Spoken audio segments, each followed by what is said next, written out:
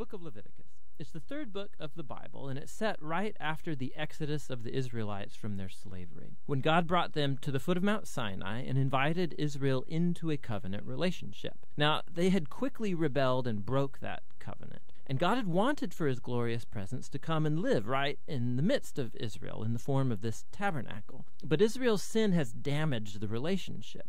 So, at the end of the previous book, Exodus, Moses, as Israel's representative, could not even enter God's presence in the tent. The book of Leviticus opens by reminding us of this fundamental problem. It says, The Lord called to Moses from the tent. So the question is how can Israel, in their sin and selfishness, be reconciled to this holy God?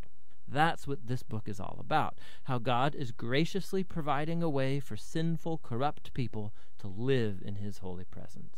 Now, let's pause for a second and explore this really important idea that God is holy. It's fundamental to understanding this book. The word holy means simply to be set apart or unique.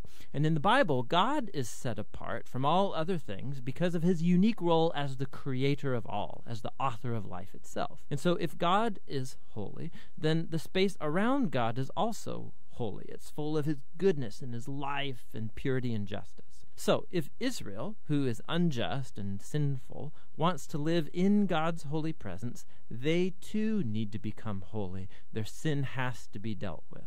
Thus, the book of Leviticus. Now, the book has a really amazing symmetrical design. It explores the three main ways that God helps Israel to live in his presence. The outer sections are descriptions of the rituals Israel was to practice in God's holy presence. The next inner sections focus on the role of Israel's priests as mediators between God and Israel. And inside of that are two matching sections that focus on Israel's purity. And then right here at the center of the book, there's a key ritual, the Day of Atonement, that brings the whole book together. The book concludes with a short section where Moses calls on Israel to be faithful to this covenant. Let's dive into the book. The first section explores the five main types of ritual sacrifices that Israel was to perform. Two of these were ways that an Israelite could say thank you to God by offering back to God these symbolic tokens of what God has first given them. Three other sacrifices were different ways of saying sorry to God. So here an Israelite would offer up the lifeblood of an animal while confessing that their sin has created more evil and death in God's good world. But instead of destroying this person, God, of course, wants to forgive them. And so this animal symbolically dies in their place and atones, which means it covers for their sin. And so, through these rituals, the Israelites were constantly being reminded of God's grace, but also of his justice and of the seriousness of their evil and its consequences. The second set of rituals lays out the seven annual feasts of Israel.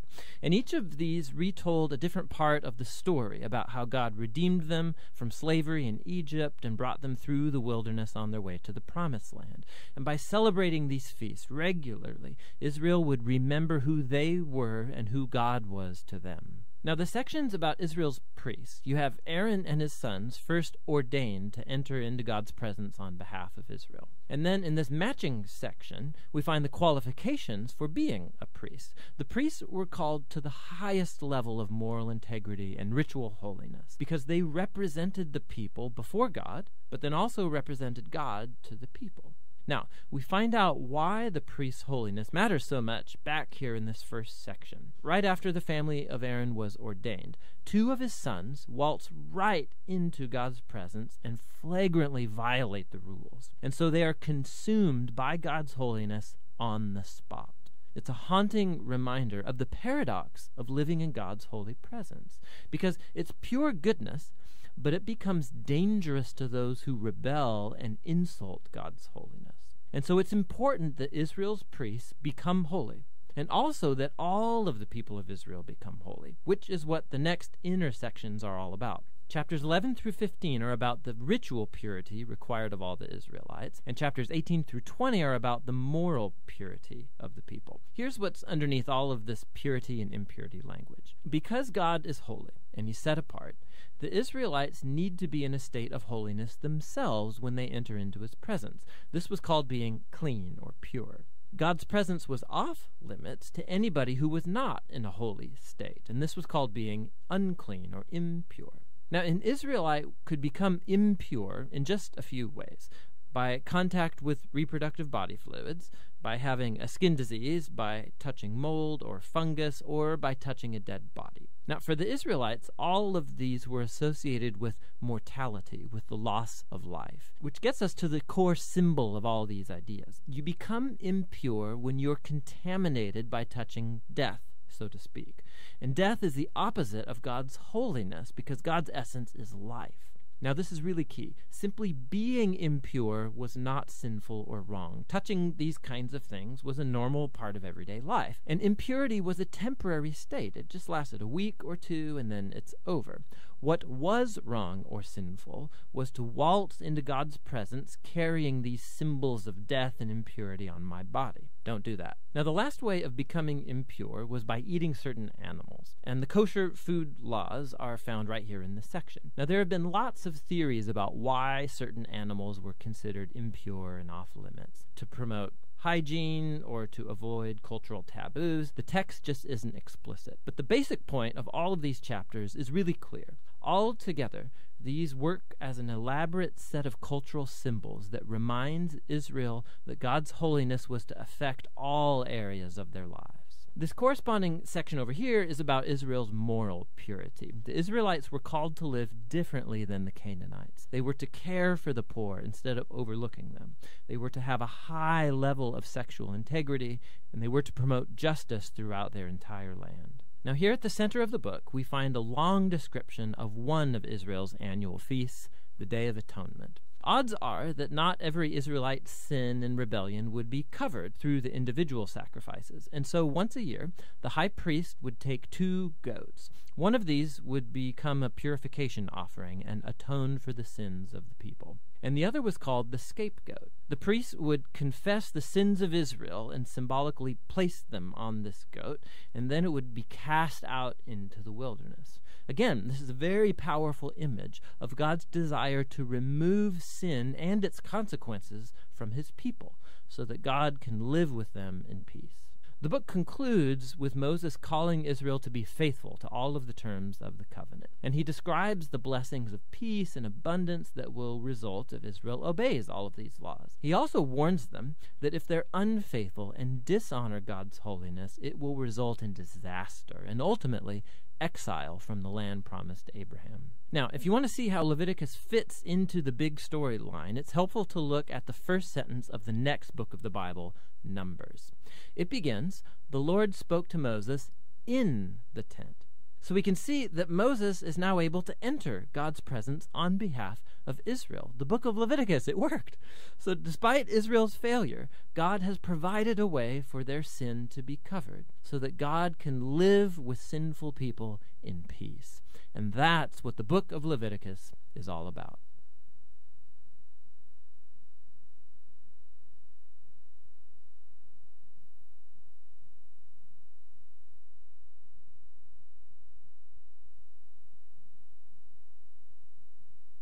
Oh, excuse me. I know what you're thinking.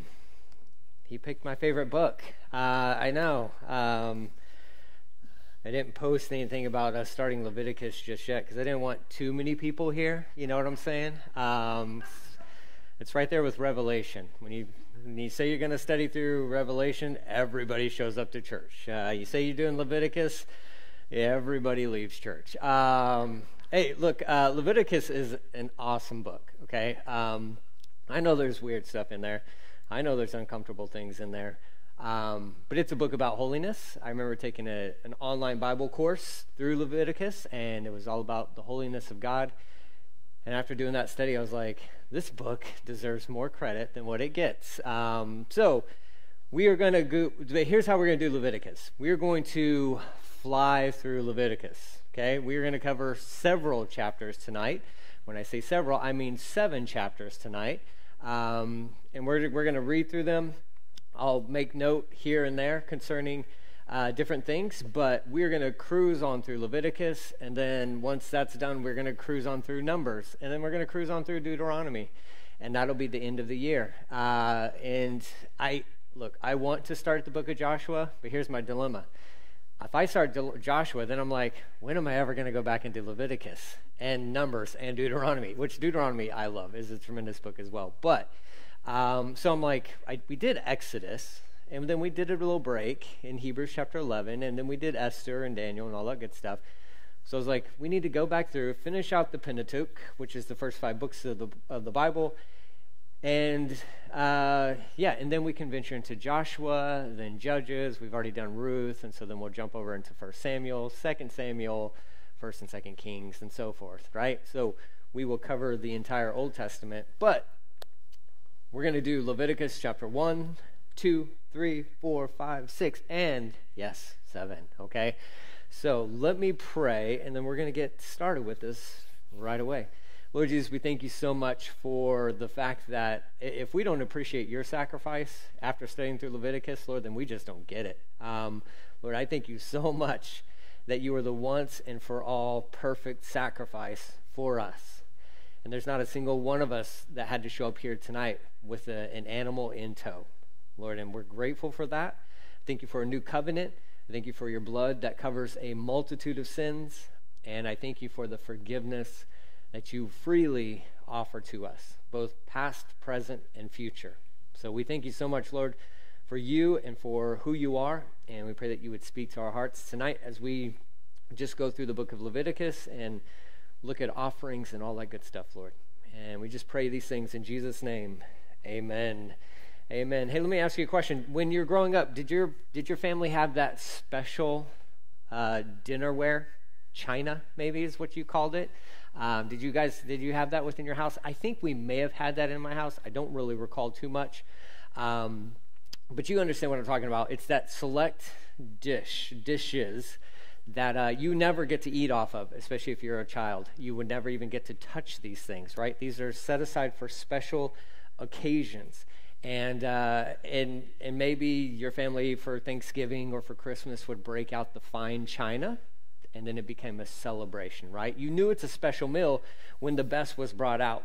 Uh, I was doing some studying today and I came across this article that I wanted to read to you guys concerning that and, and relate this to um, how, how we bring an offering to God, okay? Um, but this uh, Charlotte uh, Lat- Latvala, if that's how you say her name, my apologies, Charlotte, um, she wrote this article and it says, Break out the fine china. She says, Through a series of family events, I have recently found myself in possession of my late mother's china. That's right, china, the stuff that brides of the 1940s dreamed about, planned for, and collected. The fancy plates of varying sizes, the cups and saucers, the matching sugar bowls, the gravy boats, and the spectacularly large serving trays. This elaborate set of dishes wouldn't be out of place in an episode of Downton Abbey.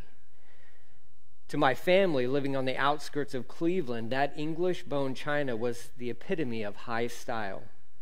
It was our Thanksgiving, our Christmas, our meeting potential new spouse's dinnerware. I grew up in fear and awe of it, all because I associated it with exciting occasions along with the good silver and, and deli- or delicate glasses, none of which were allowed to, to go into our cumbersome 1970s dishwasher by the way, she says.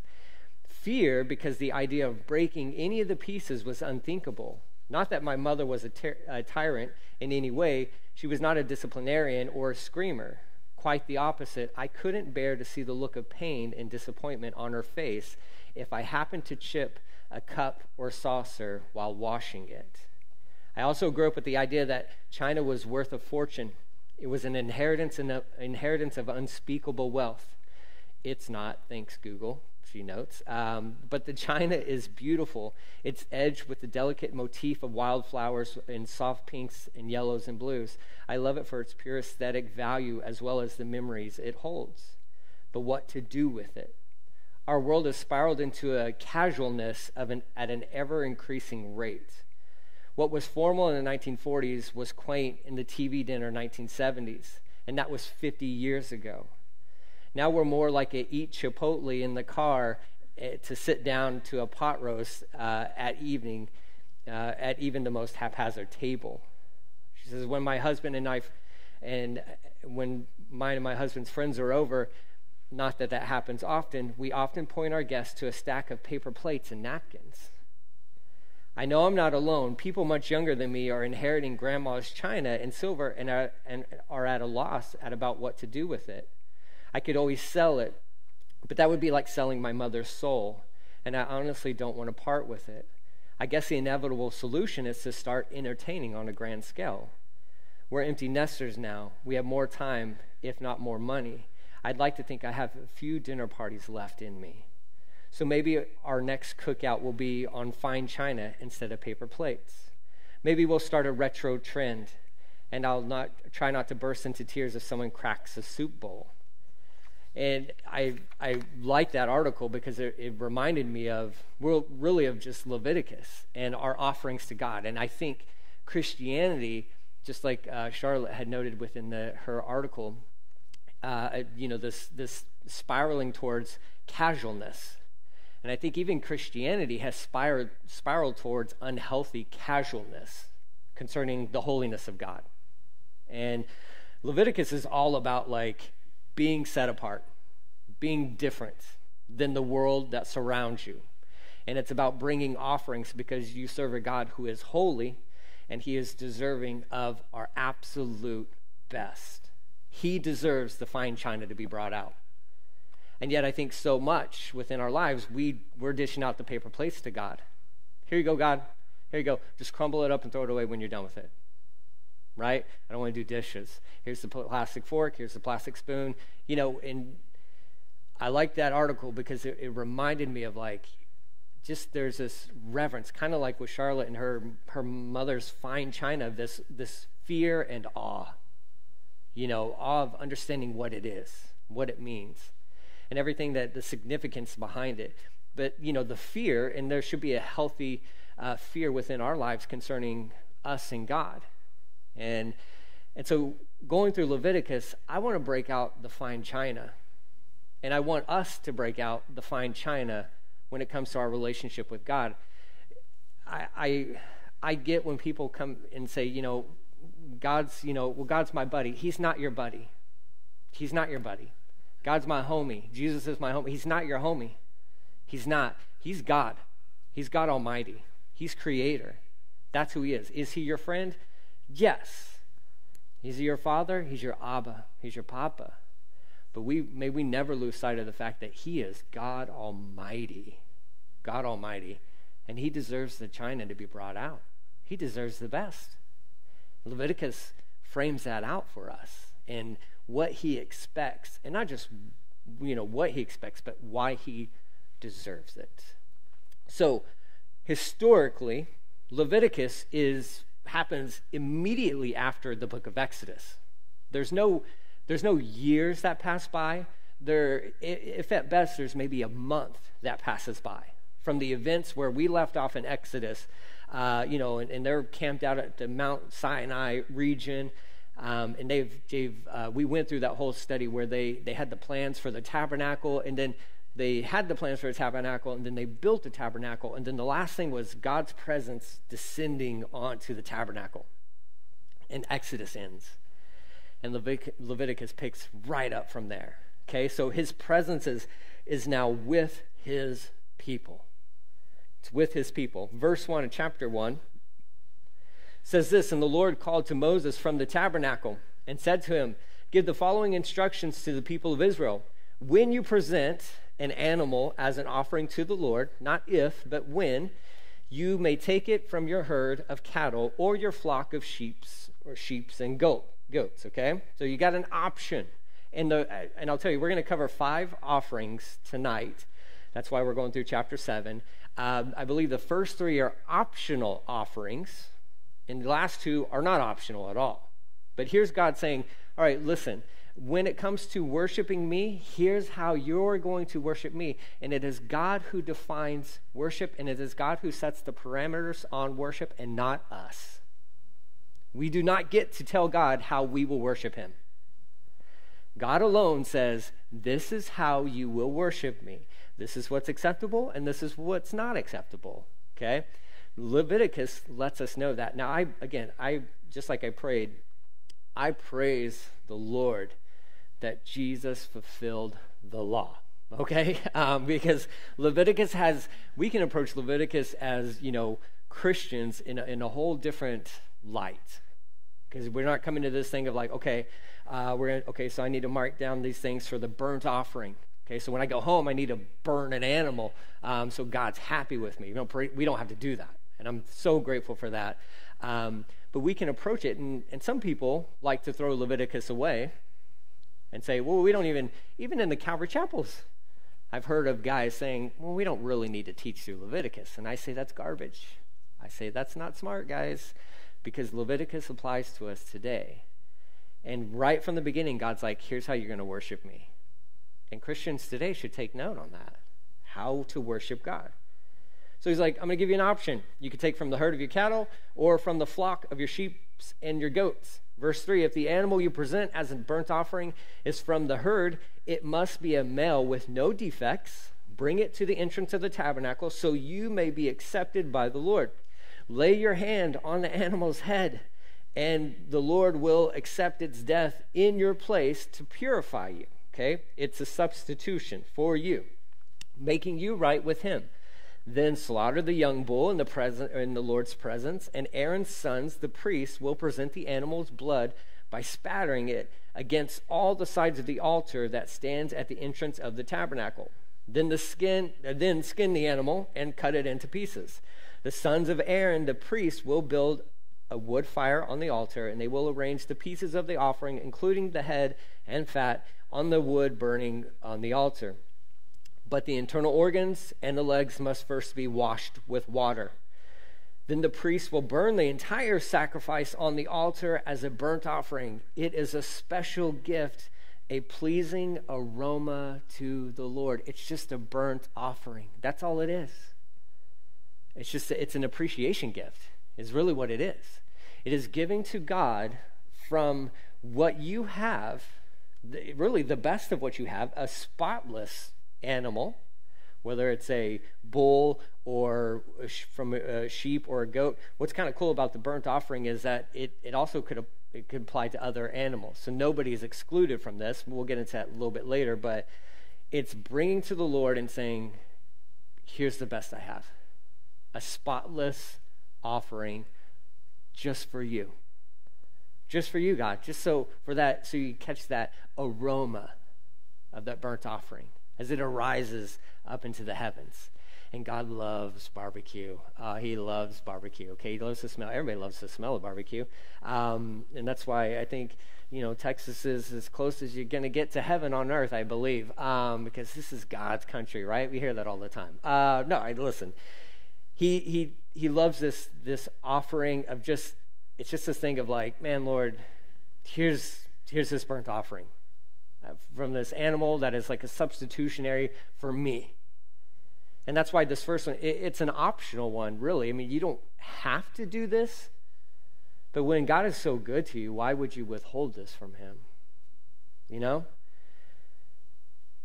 Verse 10, he says, If the animal you present as a burnt offering is from the flock, it may be either a sheep or a goat it must be a male with no defects. Slaughter the animal on the north side of the altar in the Lord's presence, and Aaron's sons, the priests, will splatter its blood against all sides of the altar. You're like, this is very bloody. I get it, right? But but again, praise God for the blood of Jesus. Okay, so you they throw the blood against all sides of the altar, then cut the animal in pieces, just like the bull. The priest will arrange the pieces uh, of the offering, including the head and the fat, wood, the wood burning on the altar but the internal organs and legs must first be washed with water. Water. Then the priest will burn the entire sacrifice on the altar as a burnt offering. It is a special gift, a pleasing aroma to the Lord. So on the same level. Now, just so you understand, a a a bull is worth so much more money than a sheep or a goat. So, and it, but it lists that as first is like if if you want to offer to the Lord greatly, go for it. But if, let's say, you can't afford to give a, a bull, well, then give a sheep or a goat. And there's even a, you know, uh, the last little section there. There's a there's an allowance there for like, let's say you can't afford to give a sheep or a goat. You're like, all I got is birds, right? And God's like, I'll take your bird, right? He's like, I love that too. And that's verse 14. If you present a bird as a burnt offering to the Lord, choose either a turtle dove or a young pigeon. the priest will take the bird on to the altar. Here's your fun part: ring off its head. Uh, everybody's like, ah, um, and burn it on the altar. Um, sorry, but it's listen. It's going to get a lot more descriptive through Leviticus. Okay, so just hold on tight, right? Poor bird, I get it, but hey, um, it's a gift to God. There you go. But first, he must drain its blood against the side of the altar. The priest must also remove the crop uh, and the feathers and throw them in the ashes on the east side of the altar. Then, grasping the bird by its wings, the priest will tear the bird open, but without tearing it apart, then he will burn it as a burnt offering on the wood burning on the altar. It is a special gift, a pleasing aroma to the Lord. And that's chapter one. And you're like, oh dear Lord, um, so much death. Uh, hey, okay, another thing you can add to your list of things you're thankful for. You're not a Levite back in the day, right? If you're like, all this, well, praise God, you weren't having to, you know, spatchcock birds and all that good stuff, right? like tearing these birds apart. Um, I wouldn't have made it. I just, I, I just wouldn't have probably made it. Um, but that's the burnt offering. It's a free will offering. It's a free will offering. It's like, man, Lord, I'm so thankful. I'm so grateful. And here's what I have. Here's what I have. Even if it's even if it's just a bird, it's the best that I have to offer to you. And I just want to offer it to you. Chapter 2, we look at the grain offering, another free will type offering. When you present uh, when you present the grain as an offering to the Lord, the, the offering must be uh, must consist of choice flour you are to pour olive oil on it, sprinkle it with frankincense, and bring it to Aaron's sons, the priests. The priest will scoop out a handful of the flour moistened with oil, together with all the frankincense, and burn this representative portion on the altar. It is a special gift, a pleasing aroma to the Lord.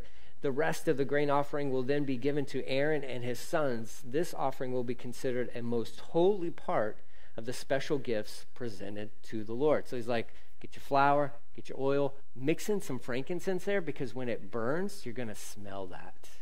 You're going to smell that. And that's going to that's going to go up. Here's what's crazy is this this is happening that aroma makes its way up into the nostrils of God. That's amazing. That's incredible.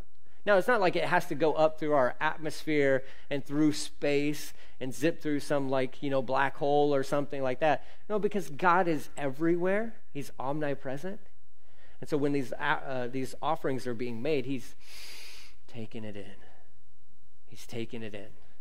It's, it's amazing. So you got this grain offering, right? Um, this is going to be a way for they way for them to recognize and confess their dependence on God for their provisions, for their food, and for their, just their lives. This is a bloodless offering, right? So you get a little a little relief for a second, right? The bloodless offering. Uh, we're also gonna we're gonna mix in some salt here in a second, and that's for permanence. That's for like uh, to show like it's it's for everlasting. Um, verse four: If the offering is uh, if if your offering is a grain offering baked in an oven, right? Who doesn't love that? That's beautiful. Um, it must be made of choice flour, but without any yeast. Okay, we remember that from the Exodus. Okay, they were to bake their bread without any yeast. It may be presented in the form of thin cakes mixed with olive oil or wafers spread with olive oil. If your grain offering is cooked on a griddle, it must be made of choice flour mixed with olive oil uh, but without any yeast. Break it in pieces, pour olive oil on it. It is a grain offering. If your grain offering is prepared in a pan, it must be made of choice flour and olive oil, right? This is like biscuits or something, right? It's just like, uh, I'm like salivating because I'm thinking of like cornbread, biscuits, pancakes, you know, all that good stuff, right? I'm like, oh man.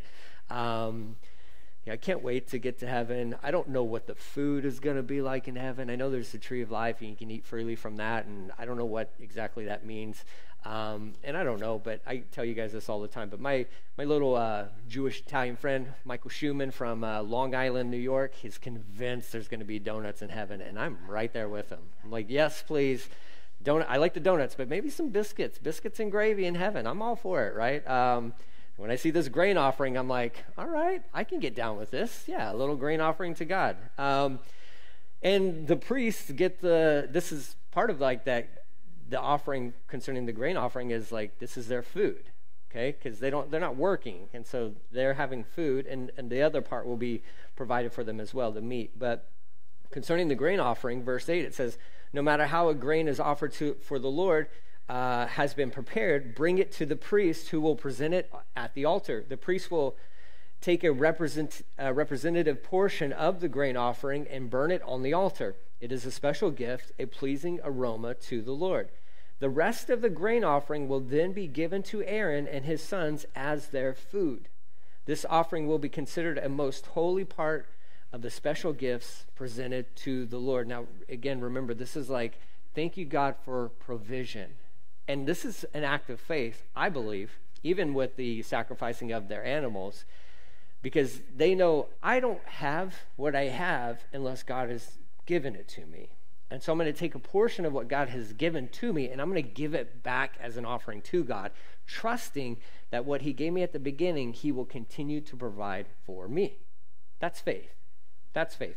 And that's why, like, and it's faith, it's an act of worship. That's why uh, giving is an act of worship because you are really trusting, like, uh, I don't have this unless God has given it to me, so I'm going to take a part of this and I'm going to give it back to Him as an offering because I know He's going to provide. Because I know He's going to provide. And that's and that's that's really how giving and tithing and all that stuff. That's that's really that should be the heart behind it. It shouldn't be like, you know, pass the plate and here's we got we we got to raise more funds for this and that. Look, the church is always going to need funds. I mean, that's a reality of a church. However, it should never be about you know the thermometer on the stage and this and that. It's it should be about. I mean, has he taken care of you? Okay, cool. Well, then just trust him to continue to take care of you, and then, you know, and then if if you're being ministered here or there's a ministry or missionaries that you want to support, give freely to them, trusting and knowing like, man, God's going to take care of me. He'll take care of me. Um, so that's what's kind of cool about these offerings as well and with the grain and the just trusting in the Lord for provision, I mean, He's always going to come through. He's always going to come through. And again, with this grain offering, I'm just reminded, you know, daily bread. That was part of Jesus' model prayer to his disciples. Give us this day our daily bread. Why? Because I'm going to cut off a portion of that. I'm going to give it back to God. I'm going to give it back to Him. Why? Because He's going to give me daily bread. He's got me. Verse 11 do do not use yeast in the pre- preparing of any of the grain offerings you present to the Lord, because no yeast or honey, oh, that's a bummer to me, may be burned as a special gift presented to the Lord. I love honey too much. I love it too much. Uh, but it's the best thing ever from little bugs that can pro- possibly kill me. Okay? I don't know. I've got an allergy or something, but praise God for honey. Um, so you can't burn it up. That's fine. Verse 12. You may add yeast and honey to an offering of the first crops of your harvest, but these must never be offered on the altar as a pleasing aroma to the Lord. Season all your grain offerings with salt to remind you of God's eternal covenant. Right? That's why it's that it's that permanence, it's that long lasting, it's a preserver. That's what salt is. And the Jews back then believed that even salt couldn't be destroyed by fire. Okay? And so he's saying, season it with salt. Don't worry about your blood pressure because it's not for you, it's for me. It's a, it's a burnt offering to God, okay? So he's like, season that thing with salt, but it represents his eternal covenant. Never forget to add salt to your grain offerings. Verse 14 If you present a grain offering to the Lord from the first portion of your harvest, bring fresh grain that is coarsely ground and roasted on a fire put olive oil on this grain offering and sprinkle it with frankincense. The priest will take a representative portion of the grain moistened with oil together with all the frankincense and burn it as a special gift presented to the Lord, right? So we get it. You got some grain offerings, you want to make a, an, a voluntary grain offering? Cool. Well, here's the parameters. You can't just show up and throw some some pancakes on the on the altar, right? You're like, I made these, and you're like, no, there's yeast in there. Or like, yeah, I, I didn't have time. So here you go, God. Like, that doesn't fly. That doesn't fly. There's rules. There's rules. Why? I don't like rules. He didn't ask you if you liked rules. He says, This is how you'll worship me. But all the other nations are doing it this way. And he's like, I don't care about all the other nations. When it comes to worshiping me, you will worship like this. But in Egypt, we used to, no, this is different. This is different. For you and I, serving God, worshiping God, this is different. This is different. This is holy. Chapter 3 If you present, this is a peace offering, um, peace or fellowship offering, as you could, uh, I think you can call it either one of those. If you present an animal from the herd as a peace offering to the Lord, it may be a male or a female, but it must have no defects. Okay, so first burnt offering, male animal only. This one, peace offering, is male or female, still no defects though. Okay? Lay your hand on the animal's head and slaughter it at the entrance of the tabernacle. Then Aaron's sons, the priests, will splatter the blood against all the sides of the altar. The priest must present part of this peace offering as a special gift to the Lord. This includes all the fat around the internal organs and the two kidneys and the fat around them near the loins and along the lobe of the liver there must be uh, these must be removed with the kidneys and aaron's sons will burn them on top of the burnt offering on the wood burning on the altar. It is a special gift a pleasing aroma to the lord. Now here's where naturally i'd want to slow down and be like okay let's talk about these organs that filter out all the impurities within our bodies okay? Because that's technically what they do. And why he has those set aside for this peace offering um, there's so much behind this so much behind us. And one day we will revisit this. Okay? We will revisit this. But there's a distinction between the burnt offering and the peace offering. There's similarities, but there's also some differences there. And some of these organs being thrown on top of the pile, and the fact that it could be a male or a female animal, um, there, there's definitely distinctions that are there. Okay? And they're not just like, you read through that like, oh, that's different. And they're there for a reason. However, we don't have the time to get into a lot of that, but I do find it fascinating that a lot of those organs are what are used within our bodies to filter out bad stuff within us. Okay? So you got this peace offering. Um, and again, this is going to be more blood. Here you go. Um, Verse 6 If you present an animal from the flock as a peace offering to the Lord, it may be male or female, but it must have no defects. If you present a sheep as your offering, bring it to the Lord, lay your hand on its head, slaughter it in front of the tabernacle. Aaron's sons will splatter the blood, the sheep's blood, against all sides of the altar. The priest must present the fat of this peace offering as a special gift to the Lord. This includes the fat of the uh, broad tail cut off near the backbone, all the fat around the internal organs, the two kidneys, and the fat around them near the loin, and the long lobe uh, of the liver. These must be removed with the kidneys, and the priest will burn them on the altar as it is a special gift of food presented to the Lord. If you present a goat as your offering, bring it to the Lord. Lay your hand on its head. Slaughter it in front of the tabernacle. Aaron's sons will then splatter the goat's blood against all sides of the altar. The priest must present part of this offering as a special gift to the Lord. This includes all the fat around the internal organs, two kidneys, and the fat around them near the loins, the long lobe of the liver. These must be removed with the kidneys, and the priest will burn them on the altar. It is a special gift of food, a pleasing aroma to the Lord. All the fat belongs to the Lord. Here's the caveat you must never eat any fat or blood. This is a permanent law for you, and it must be observed from generation to generation wherever you live, right? And you're like, well, that that's different, right? Don't eat the fat. Don't not the blood. Why to abstain from the blood? There's could be a chance that that's a reference back to Genesis chapter 9 verse 4 when God told Noah, "Don't drink the blood or don't eat the blood from any animals because within that blood it's it's that it's the life of the animal." So he's saying stay away from the blood, okay? Now, if you're feeling guilty because you like your steaks a little bit rare. You're like, oh no, I'm a sinner, right? I need to make a sacrifice now. You don't. Okay, it's fine. Eat your rare steaks. That's fine. Um, but he's talking about out of like, really, again, it's a distinction between cultures that were surrounding them and what was normal around some of these other cultures. Even to this day, we have, you can go to certain places on this globe and they are drinking blood from animals. which is not a good idea. I don't think. Of course, I'm not a doctor or a dietitian, um, but I you will never find me um, drinking from you know blood from an animal. We're just not going to do it, okay? Because it just seems like a bad idea, right? And God is telling His people, you will be distinct. You're going to be different, and you're also going to, as as weird as it may seem, respect these animals that are being offered up to God. Okay? You're like, but they're losing their lives. Um, yeah, I get that.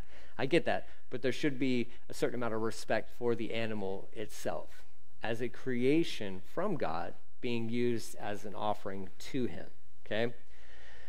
So, verse, or no, not verse, chapter, chapter 4. Look, see, they just fly by. See, you're thinking, like, he's not going to do this. There's no way. Chapter 4, here we go.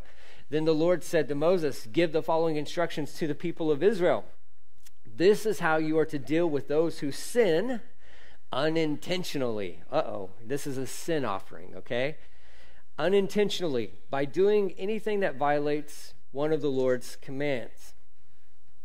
If the high priest sins, uh oh, that's the main guy, right? Yeah, they sin too, okay?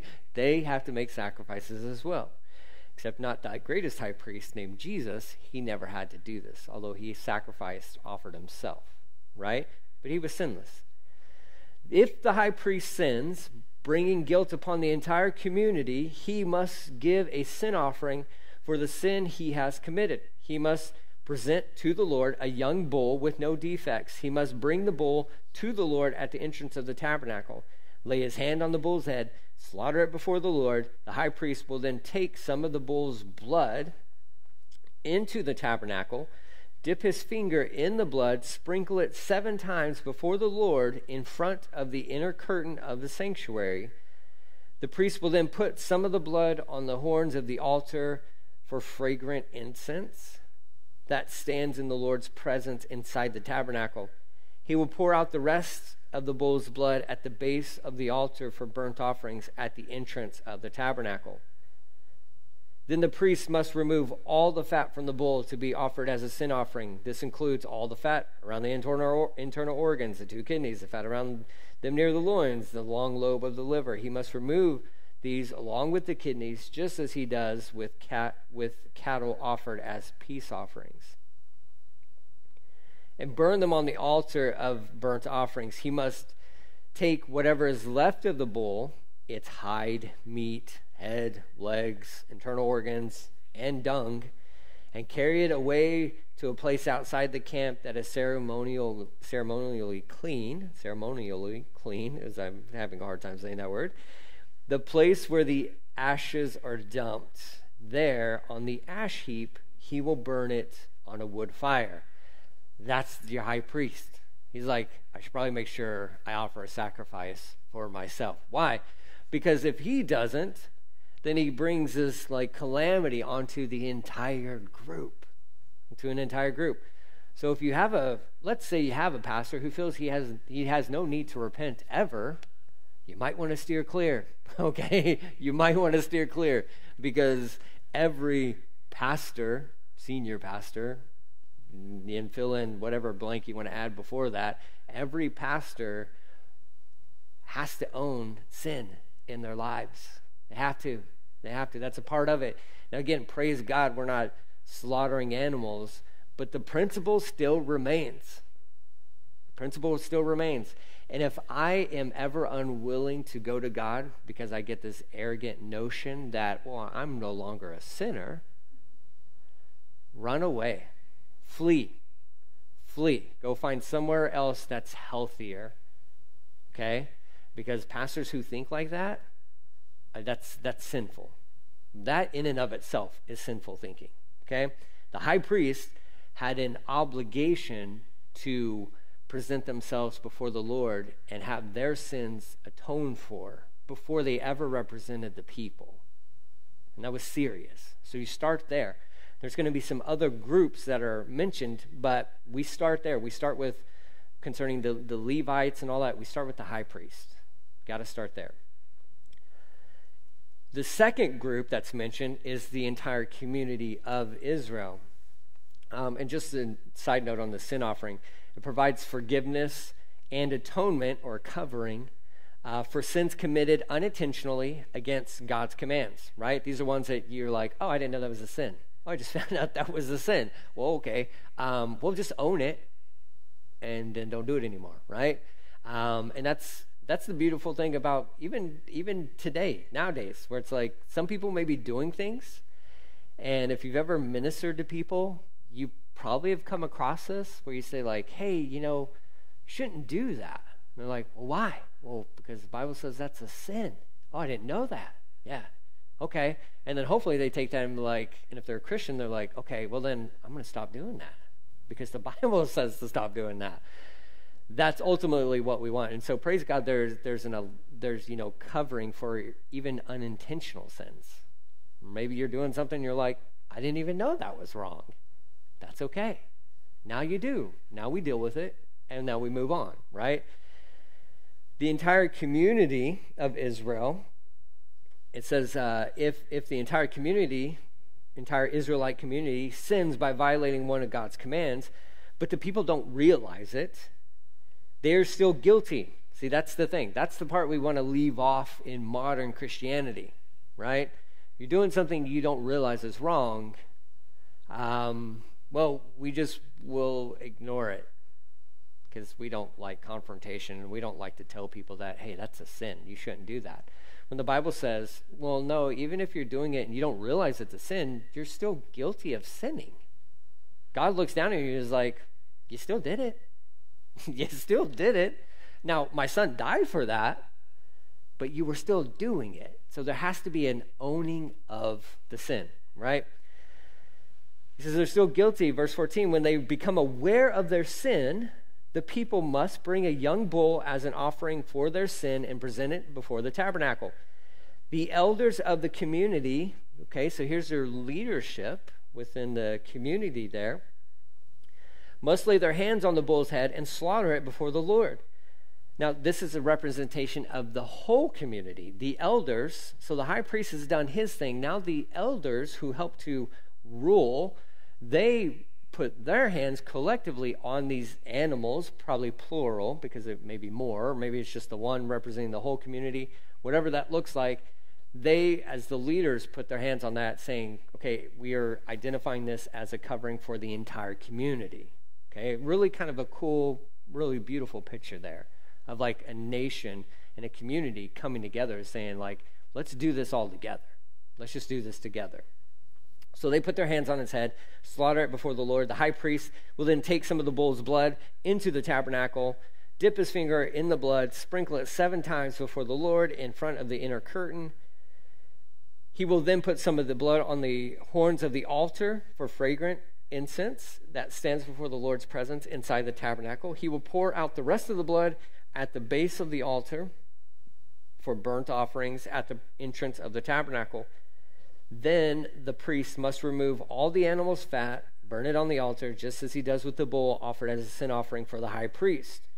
Through this process, the priest will purify the people, making them right with the Lord, and they will be forgiven then the priest must take what is left of the bull and carry it outside the camp, burn it there, just as it is done with the sin offering for the high priest. This offering is for the sin of the entire congregation of Israel. So it's cool. Let's high priest is covered. Hey, let's make sure the congregation is covered in case there's an unintentional sin happening out there.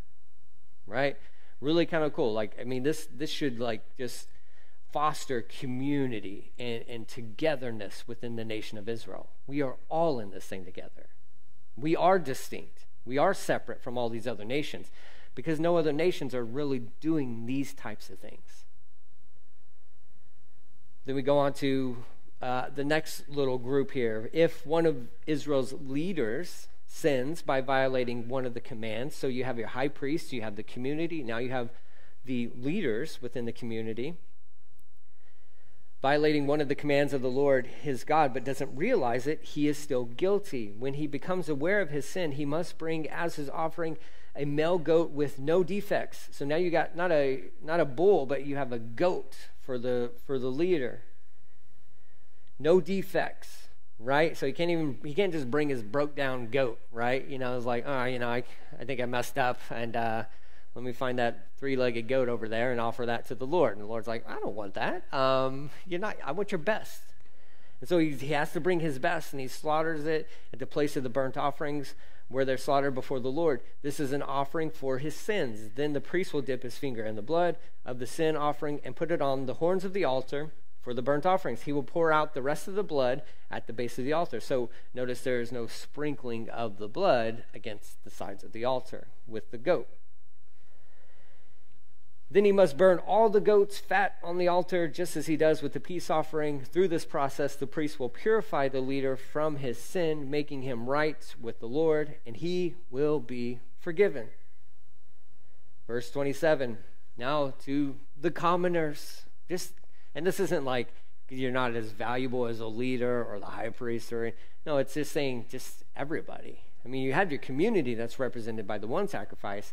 So you have the high priest, community as a whole, leaders, but then also just the individuals within the community. That's kind of what this is talking about the common people. If any common people sin by violating one of God's commands, but they don't realize it, they're still guilty. When they become aware of their sin, they must bring as an offering for their sin a female goat, okay? A female goat with no defects they must lay a hand on the head of the sin offering and slaughter it at the place where the burnt offerings are slaughtered. Then the priest will dip his finger in the blood, put it on the horns of the altar for the burnt offerings. He will pour out the rest of the blood at the base of the altar. Then he must remove all the goat's fat, just as he does with the fat of the peace offering. He will burn the fat on the altar, and it will be a pleasing aroma to the Lord. Through this process, the priest will purify the people, making them right with the Lord, and they will be forgiven. Okay, now uh, hopefully you're catching on to some of this stuff, and you should maybe make a little note or a highlight or star by that repeated phrase will be forgiven. And you will be forgiven. Because this plays into our New Testament times, so to speak, where Jesus, as the perfect sacrifice, took all of our sins upon himself, died on the cross, spilled his blood for us, so that you will be forgiven. Okay? So, whatever it is, if you present it to the Lord, you will be forgiven. Like, that's it. As matter of fact as it was for these guys, back in the day, they're at Mount Sinai, and Moses is throwing down all the, you know, here's how we're going to offer offerings to God. But here's what this means for you it means you will be forgiven. For you and I to walk in this forgiveness with Jesus, confessing our sins. If you got something, or maybe He makes you aware of something within your life that needs to be confessed, you confess it and you will be forgiven. And that's it. There's a period after that statement. There's no room for the enemy to come in and say, well, but really? But really? So if you were forgiven of that, then why'd you do it again? Well, because I'm a little hard headed, I guess, right? And guarantee you, all these people, none of these people made one sacrifice for once in their life. This was a repeat thing. You probably had if you had some honest people within the group, they're probably showing up multiple times. They're like, yeah, I know I was here this morning, but then when I left, I got in a traffic jam, and uh, so I had to grab another goat and come back. And I hope that the traffic has lessened up so that when I go home, I don't have to turn around and come back for the evening sacrifice, right? like, that that would have been me, right? I would have been getting in all my steps, right? Like from home to like I gotta go back, I gotta go back. We're running out of animals. I know, I know, um, and it's only Tuesday, right? And you're like, slow down. Praise God that in Christ you will be forgiven. Yeah, but you don't know. You will be forgiven. You will be. It's a done deal. And that's your sin offering. Um, the young unblemished bull, just as a side note to that, is the costliest animal for an Israelite. It's the costliest animal. Again, I already mentioned that, but just want to make sure that you understand that. Concerning a an unintentional sin, God's like, okay, there will be forgiveness for you, but a sacrifice has to be made. Sacrifice has to be made. Now, chapter 5 takes a, a little bit of a turn, and then in the middle of chapter 5, we will get our, our guilt offering, okay? But look at chapter 5, verse 1. If you are called to testify about something you have seen or that you know about, it is sinful to refuse to testify, and you will be punished for your sins, right? So now he takes a little turn and says, let's talk about community life in Israel. And let's talk about justice and consequences, something our world knows nothing of. And it's, yeah, I, I, am surprised at our leaders, especially within Houston, uh, and they're so like, they have no idea of like, how is a sin, how is a crime so bad? I'm like, well, you keep letting the criminals out, then the crime's going to be bad. Now, I don't have my degree in law enforcement or anything like that, but I think it's a common sense thing. And I think when you move away from consequences, then you're going to have more crime. I think that's how that works. And I think the Bible is very clear on there has to, there has to be consequences. There has to be consequences. So let's look at this. He says if you're called to testify about something you've seen, you've witnessed a crime happen, and you refuse, you're in trouble. you're in trouble. That's a sin. It, it's sinful to refuse to testify. Man, this kid, this needs to be applied in our society today. How many people are hiding out in their homes and they don't want to testify about a crime that they know about or that they've seen? Why, I get it, there's a fear of retaliation. I understand that, but my goodness, that's an injustice. That's an injustice. And, and this was an issue back then. And Moses, obviously from directed direction from the Lord, is saying, Oh, by the way, if you see something that happens that's wrong, you need to speak up. You need to speak up. It's sinful to refuse to testify. You're going to be punished for that. You're going to be punished for that. Crazy. Verse 2. Or suppose you unknowingly touch something that is ceremonially unclean, such as a carcass of an unclean animal, right? You just happen to like, maybe you trip and you fall, and you're like, what did I trip over? Oh no, it was an unclean animal, okay? Now I'm unclean. What do I do? Says, when you realize what you've done, you must admit your defilement and your guilt. You're like, I didn't mean to. It's okay. It's not as bad as it sounds, all right? So this is true whether it is a wild animal, a domestic animal, or an animal that scurries along the ground, right? It's just, if it happens and you're aware, become aware of it, just own it. Just own it. Make it right. That's what I always say. Make it right. Just make it right.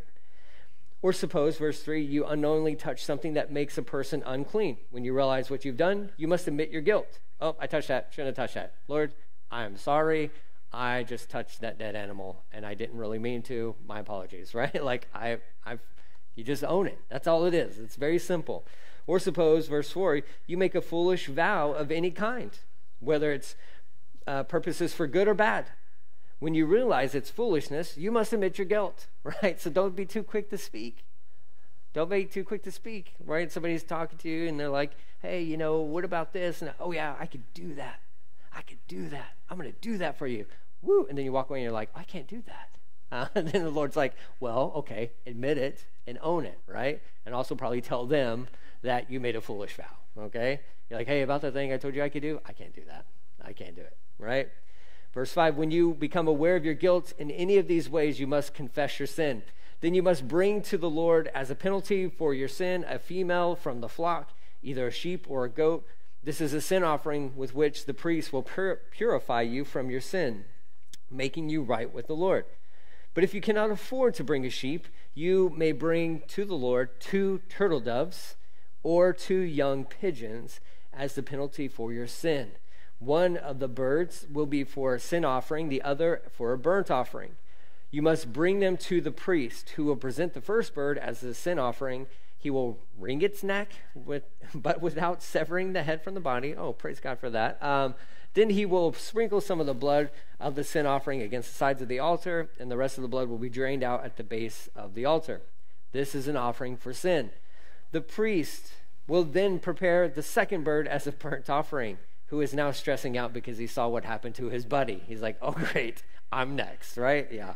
Um, following all the procedures that have been prescribed, Through this process, the priest will purify you from your sin, making you right with the Lord, and you will be forgiven. But if you can't afford two turtle doves or two young pigeons, or to bring them, you may bring two quarts of choice flour for your sin offering. Since it is an offering for sin, you must not moisten it with olive oil or put any frankincense on it. Take the flour to the priest, who will scoop out a handful as a representative portion. He will burn it on the altar on top of the special gifts presented to the Lord. It is an offering for sin. Through this process, the priest will purify those who are guilty of any of these sins, making them right with the Lord, and they will be forgiven. The rest of the flour will belong to the priest, just as it, just as with the grain offering. And you may be thinking, like, what is the big deal? What's the big deal? So I told a little lie. What's the big deal? And God says, No, I define what's a big deal. No, I define that. I know your culture would have you to think this, but I define worship. I define what it means to be my follower. God sets the, the parameters and the boundaries. God tells us what, what is worship and what is not worship. It is a big deal because it's a hard issue. Ultimately, it's a hard issue. And that's what the Lord, I think He's using some of these like small examples to highlight the fact that in here, in our hearts, man, we're just sinful people. We're just sinful people. And it's a miracle there's any animals left on this planet, right? I mean, my goodness, if there was no if there was no once and for all sacrifice, if we were really honest, uh, every animal would be on the endangered species list, right? Because it's like, oh gosh, I the more man the Lord the more the Lord reveals to me how my heart truly is, I'm like, it's just desperately wicked. It's desperately wicked. Here's the guilt offering, and then we'll wrap this all up here. Then the Lord said to Moses, If one of you commits a sin by unintentionally defiling the Lord's sacred property, you must bring a guilt offering to the Lord. The offering must be your own ram with no defects. So this is, a, again, a different, different kind of animal here. Or you may buy one of equal value with silver as measured by the weight of the sanctuary shekel. Okay, so this is where we get some of that temple stuff we were going through in, in uh, the Gospel of Mark. Okay. So, but you got to provide this this animal. If you don't have that animal, well, then you can you should be able to buy one at the sanctuary. Okay, you should be able to get one there. You must make restitution for the sacred property you have harmed by paying for the loss, plus an additional twenty percent well, that's it. You want to keep people from making mistakes and all that stuff? Yeah, tack on 20%. Like, hey, you stole that person's car. Guess what? You give them back their car, and then you're going to pay them 20% of what that thing's worth. You stole their money, you give them back their money, and then you're going to give them 20% extra. I think you'd see crime rates drop significantly. If people are actually held accountable, we don't even hold them accountable for the wrongs that they do slap them on the wrist, go spend some time in jail. We won't hold you there. Well, we will if we can make money off of you in prison because we do that too. We're so messed up here. There are no consequences, but here God's like, oh no, there's going to be consequences. There's going to be consequences. Like not just you're repaying what you what you messed up. Oh, you're paying extra. You're going to pay extra, right? That's a good deterrent for for crime. So there's that 20%. When you give the payment to the priest, he will purify you with the ram sacrifice as a guilt offering, making you right with the Lord, and you will be forgiven. Suppose you sin by violating one of the Lord's commands. Even if you are unaware of what you've done, you are guilty and will be punished for your sin. For an offer, for a guilt offering, you must bring to the priest your own ram with no defects, or you may buy one of equal value. Through this process, the priest will purify you from your unintentional sin, making you right with the Lord, and he will forgive you. Or, and you will be forgiven. This is the guilt offering for you've been guilty of an offense against the Lord, right? So, similar to the sin offering, uh, but there's a, you know, the concept of restitution is included within this offering, okay? Now, chapter 6, chapter 6, six and 7 actually go real quickly because it, it kind of gives you like further instructions concerning what we just went over. So, this is the beauty of it, right? Um, Chapter 6, verse 1 Then the Lord said to Moses, Suppose one of you sins against your associates and is unfaithful to the Lord. Suppose you cheat in a deal involving a security deposit, or you steal or commit fraud, or you find lost property. This is concerning the guilt offering, uh, and lie about it. Or you lie while swearing to tell the truth, or you commit any other such sin. If you have sinned in any of these ways, you are guilty. Guilty. But, but, no, but, Your Honor, not guilty. Guilty. Okay? No excuses. It's guilt. You must give back whatever you stole, or the money you took by extortion, or the security deposit, or the lost property you found, or anything obtained by swearing falsely. You must make restitution by paying the full price plus an additional 20% to the person you have harmed. Man, can we can we implement this in our world today? My goodness.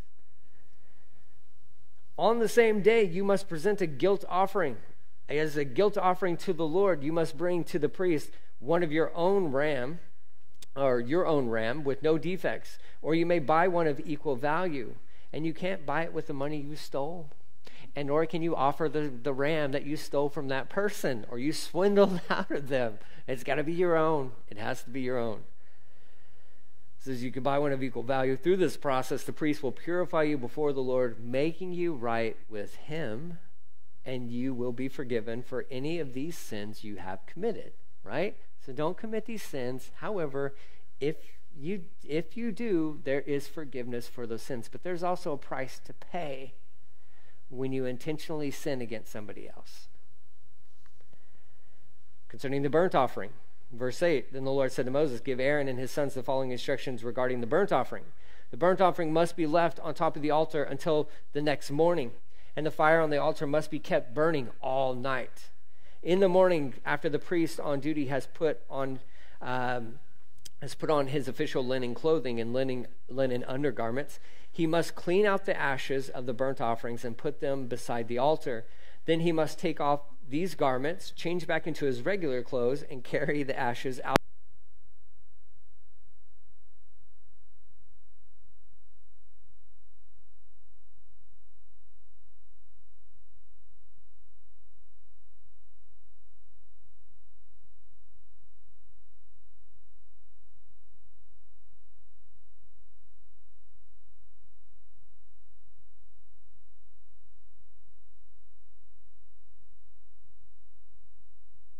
the recording. We'll find this and be like, oh, the battery died. That's what happened. Um, anyways, uh, hey, we're back. Um, let's start back in chapter one. Just kidding. Um, you're like, no, please, no. Please, please, no. All right, so you got the burnt offering. Everything must be uh, kept there. You got to scoop out the ashes, change your clothes, to go throw the ashes out onto, you know, outside the city, kind of a deal. Verse um, uh, the rest of verse 11 there, and carry the ashes outside the camp to the place that is ceremonially clean. Verse 12 Meanwhile, the fire on the altar must be kept burning, and it must never go out. Each morning, the priest will add fresh wood to the fire and arrange the burnt offering on it. He will then burn the fat of the peace offerings on it. Remember, the fire must be kept burning on the altar at all times. It must never go out. That's a little place where you put a side note of like, Lord, keep the fire burning in my heart at all times. May it never go out. The grain offering. Verse 14, these are the instructions regarding, regarding the grain offering. Aaron's sons must present this offering to the Lord in front of the altar. The priest on duty will take the grain offering, offering a handful of choice flour moistened with olive oil, together with all the frankincense. He will burn this representative portion on the altar as a pleasing aroma to the Lord. Aaron and the sons may eat the rest of the flour, but it must be baked without yeast eaten in a sacred place within the courtyard of the temple or the tabernacle. Remember, it must never be prepared with yeast. Yeast is always symbolic uh, of sin, okay? I have given it to the priests as their share of the special gifts presented to me. Like the sin offering and the guilt offering, it is most holy. Any of Aaron's male descendants may eat from the special gifts presented to the Lord. This is their permanent right from generation to generation. Anyone or anything that touches these offerings will become holy, set apart. Now, here's the. Um, no, we'll break down the next uh, the next one. Okay, verse 19.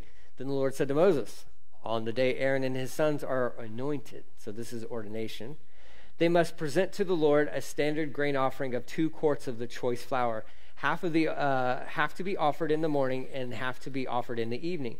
It must be carefully mixed with olive oil, olive oil and cooked on a griddle. Then slice this grain offering and present it as a pleasing aroma to the Lord. In each generation, the high priest who succeeds Aaron must prepare this offering, uh, this same offering. It belongs to the Lord and must be burned up completely. This is a permanent law. All such grain offerings of a priest must be burned up entirely. None of it may be eaten. Last little bit, 24 through 30, I realize I'm not going to make it through seven. Oh, man, I lied. Um, oh, don't worry, I'll make an offering for that. Um, just kidding. Uh, says, Then the Lord said to Moses, Give Aaron and his sons the following instructions regarding the sin offering. The animal given as an offering for, the, uh, for sin is the most holy off- offering. It must be slaughtered in the Lord's presence at the place where the burnt offering is uh, or are slaughtered. The priest who offers um, the sacrifice as a sin offering must eat his portion in a sacred place within the courtyard of the tabernacle. Anyone or anything that touches the sacrificial meat will become holy. If any of the sacrificial blood splatters on a person's clothing, the soiled garment must be washed in a sacrificial or a sacred place. If a clay pot is used to boil the sacrificial meat, it must then be broken if the bronze pot or a bronze pot is used, it must be scoured and thoroughly rinsed with water.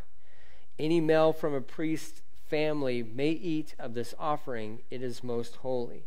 But the offering for sin may not be eaten if its blood was brought into the tabernacle as an offering for purification in the holy place. That goes back into the book of Exodus when there was uh, purification within the tabernacle itself. It says it must be completely burned with fire.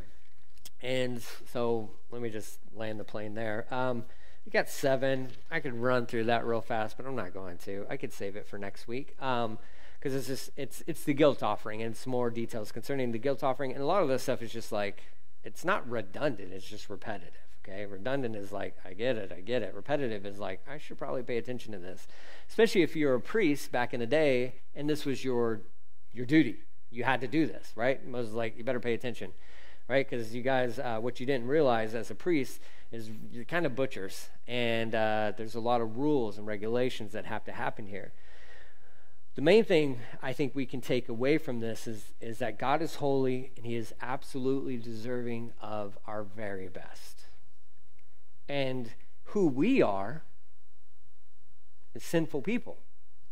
And Again, I, I know I reference this uh, a lot throughout these chapters, reading through them. Um, praise the Lord for Jesus and making one sacrifice, one sacrifice for all of our sins. Again, if you don't, you can't read through Leviticus and not just appreciate Jesus that much more. Okay? when you go through the Gospels and you're like, that one sacrifice, that perfect propitiation, that, you know, substitute sacrifice for us. Man, thank you, Jesus. Thank you, thank you that your one sacrifice for all time covers all of our sins. And there is forgiveness for those who have sinned. That's the beauty of it. And the last thing is this, guys God never withheld his best from us. He never withheld his best from us. He, he gave us his absolute best in, in Jesus, when, when God offered up Jesus, he broke out his finest china for the worst people possible. For a bunch of kids who are going to do nothing but chip and break and scratch and defile and all that good stuff. He never stopped. He never withheld his best from us. He never withheld his best from us. And so I think as we go through Leviticus, I, I think it would be it would be good for us to not withhold our best from him. So let's get back to that. And, and I'm not talking about rigid Christianity and, and sterile and cold and all that kind of stuff. I'm talking about warm, just a, a warm, real reverence for who God is. And just, man, I want to give you my best. I want to give you my best because you deserve my best. So that's going to be our goal in going through the book of Leviticus. I will make a note that uh, I did not cover chapter 7. So next week, 7, 8, and 9, maybe. We'll see. I don't know. Um, who knows? But we will cover through, we will cruise through Leviticus at a rapid pace, but I, think we'll, we'll, we'll glean from it what we need to. Okay? And so I'm going to pray, and we're going to close this thing out because I went for a long time.